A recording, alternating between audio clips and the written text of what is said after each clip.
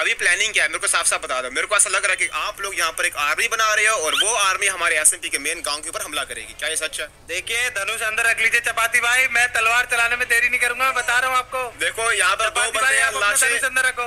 देखो यहाँ पर दो बंदे हैं और कोई ना कोई यहाँ पर मरेगा। और डेफिनेटली वो मैं मैं नहीं होगा हूँ वही मैं कह रहा हूँ। मैं कैक्टस मैं कैक्टस भी है मेरे पास। कैक्टस का खोल लेगा?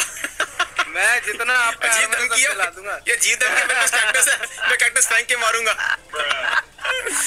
मारू आपको लगाऊँ क्या? लगाऊ? बहुत उड़ रहा हूँ यहाँ पर। मैं खोलू आपकी हड्डियाँ खोलू यहाँ पर। सही है भाई। तो ये- एप्पल खा के फुल मौज है। देख लो देख लो देख लो।